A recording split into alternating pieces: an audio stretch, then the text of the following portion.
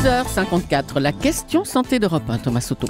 Ce lundi 12 mai, comme tous les 12 mai, c'est la journée mondiale de l'infirmière. Docteur Lemoine, pourquoi avoir choisi cette date-là? Tout simplement parce que c'est le jour anniversaire de la naissance de Florence Nightingale, le 12 mai 1820. C'est elle qui a inventé l'infirmière, un métier qui avait à cette époque une mauvaise réputation, les postes étant occupés par des femmes relativement pauvres qui se contentaient de suivre les armées.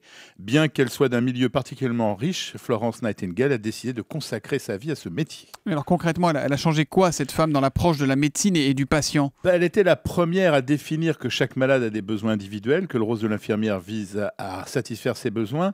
Elle a surtout expliqué que c'est le résultat d'études, d'enseignements, d'entraînement, de pratiques. Ça paraît évident aujourd'hui, Thomas. Ce fut à l'époque une véritable révolution. Il y a combien d'infirmières en France aujourd'hui, docteur? 600 000, dont 10 dans le secteur libéral. Alors on parle toujours des infirmières, et moi j'ai l'impression qu'il y a de plus en plus d'infirmiers. Euh, de la même façon que la profession de médecin se féminise, on trouve de plus en plus d'infirmiers hommes, mais mhm, Julie, les femmes sont encore 9 sur 10. Ah, 9 ah, sur 10 sont des infirmières RES. Alors mhm. elles, font, elles font quoi? Qu'est-ce qu'elles ont le droit de faire, ces infirmières? Alors, faut être clair, il n'y aurait pas de médecine moderne sans infirmière, c'est l'assistante indispensable du médecin, son bras armé, souvent ses yeux et ses oreilles, parce qu'il y a un vrai sentiment d'équipe entre les deux professions.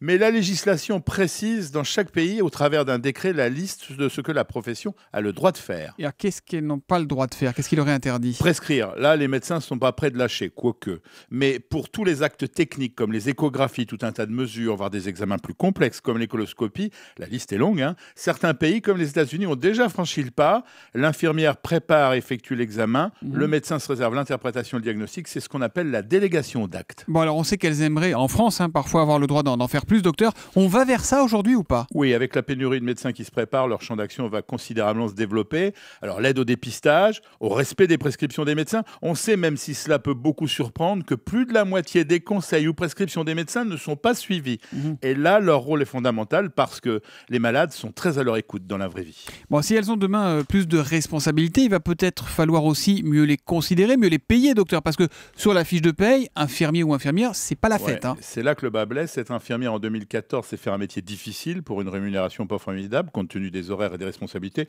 On va dire 1700 euros net en moyenne en milieu de carrière. Alors vous savez, il y a deux catégories de Français, Thomas, ceux qui ont été malades et les autres. Quand on a eu besoin un jour de façon vitale de leur service, on est d'accord avec tout ce que je viens de dire.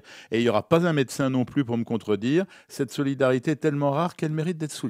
Et on n'oublie pas les infirmières scolaires. Hein. Tu vois, maman, je l'ai dit. Bon, voilà. Ah, bah oui, oui. Euh, et, la maman de Victoire aussi, non, je crois. Oui, la maman de Victoire aussi, qui, qui travaille avec nous dans l'équipe de la matinale d'Europe 1. La question de santé d'Europe 1 avec le docteur Lemoine, c'est tous les matins à 7h-5. À demain matin, Jean-François. Bonne à journée. demain, bonne journée.